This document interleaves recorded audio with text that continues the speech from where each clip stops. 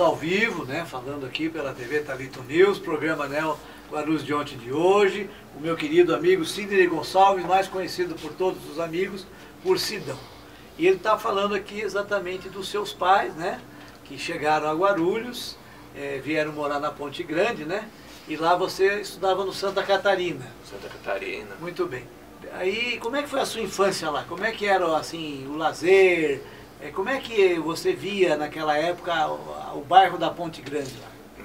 Na realidade, o bairro da Ponte Grande é um dos poucos bairros em Guarulhos que precisava de muito pouca coisa, né?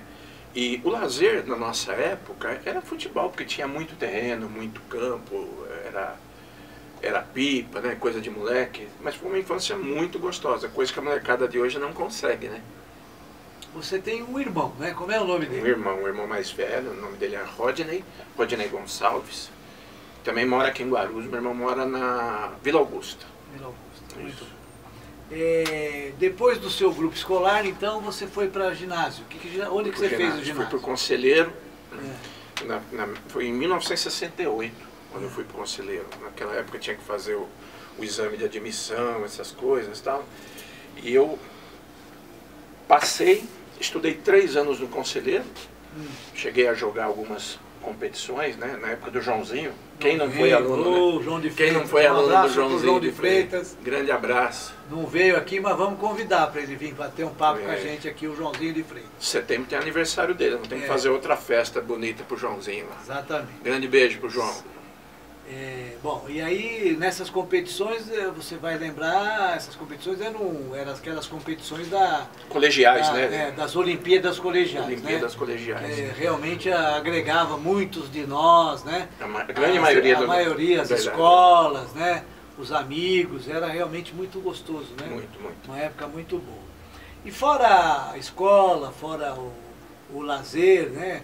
O ah, que mais de lazer você fazia depois que você foi já ficando menino, para a adolescência, qual era o lazer que você tinha na cidade e como é que você circulava pela cidade?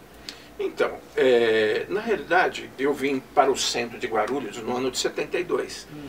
Foi quando, eu me lembro, em julho de 72, foi quando eu comecei a conhecer o pessoal que frequentava lá o Ponto Chique, que todo mundo da nossa época tem história lá no Ponto Chique, né? Sim. Mais tarde o Pibas. Então, a nossa diversão na época era os bailinhos, né, as, as domingueiras, né, alguns bailinhos que a gente não conseguia entrar pelo fato de, ser, de sermos menor de idade. Então nós tínhamos uma série de, de dificuldades, mas... Sei. E como é que era a locomoção nossa? Geralmente era a gente andava a pé ou, ou a gente pegava uma conduçãozinha de vez em quando? Como é que era a condução? No Você começo, lembra? a maioria é. das vezes era, é. era de condução, né? Sei. Quando dava sorte tinha um amigo ou outro que tinha carro, né?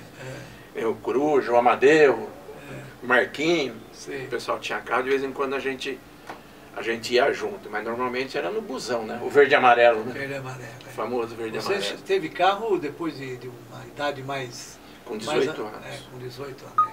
Era que o Lei estava falando aqui para nós, né? Que naquela época é, eram poucos que tinham carro, né? E quando a gente tinha, os que tinham iam ter uma idade mais avançada, né? E a gente é, pegava carona, né? Pegava carona.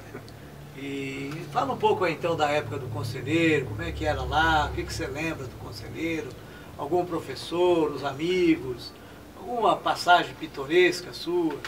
É, na realidade, é, a minha época de conselheiro ela foi bastante marcante. Né? Eu estudei com o Luiz Carlos João Sim. e eu e o Luiz Carlos nós demos muito trabalho para aquele para a dona Neuza, para o seu Antônio, né? Vira e mexe, a gente estava na diretoria, tal, que a gente era moleque meio maloqueirinho, dava um pouco de trabalho. E a dona Neuza era brava, dona, né? Dona Neuza, ela, ela era muito ela faleceu, não? Fiquei sabendo, é, fiquei sabendo recentemente. Deixou, é, fiquei sabendo. É. Mas ela levava a gente no, Sim, levava na mão de ferro. É, mas era boa pessoa. Muito, Muito legal.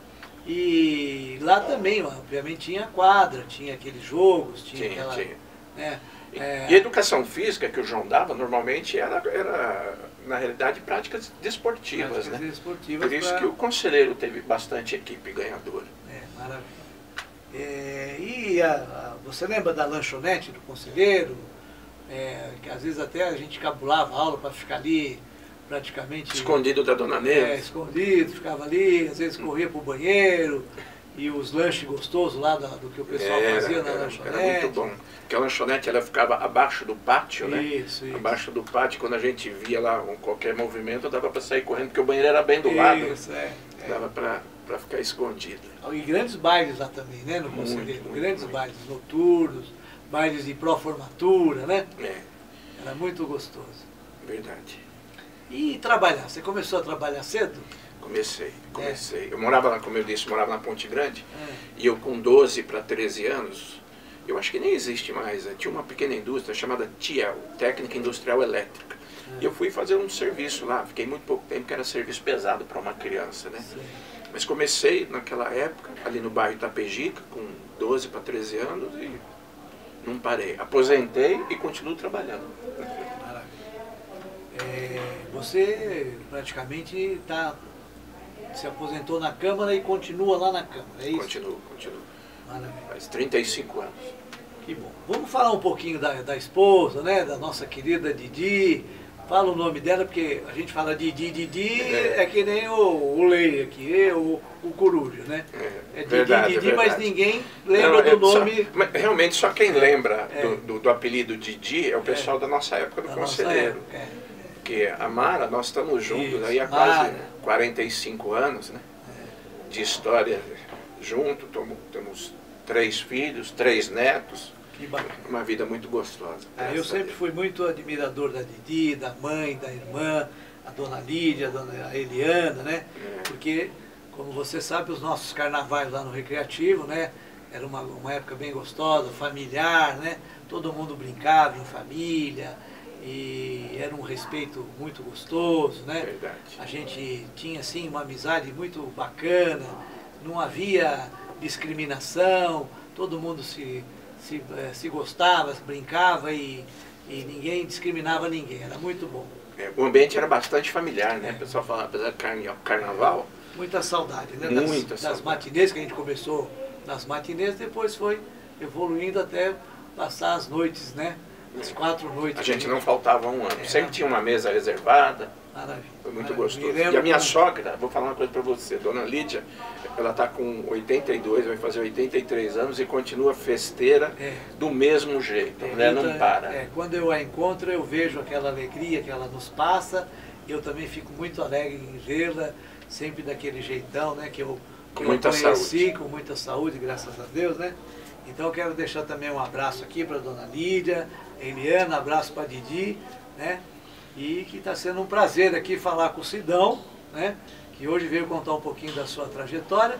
E nós estamos vendo, tem, ó, o Lei já apareceu ali também. Grande A- Lei. A Mara Gonçalves, olha lá. Lá, A Didi acabou, olha lá, acabou de dizer um obrigado para mim. Beijão. Um abraço, Mara. Maurici também já esteve com a gente aqui. O Sandro Cardoso, a Regina Cabo, minha amiga também. Né? O Lei também já aparecendo ali, tá mandando um abraço. Eduardo Dias, É, Legal. e Nelson. o Eduardo Dias, o do. Justamente o Edu, né? O Edu. O Edu, a minha irmã, a Elizabeth Justo Serrasqueiro também entrou lá. Um abraço, mana. E voltando aqui, hoje nós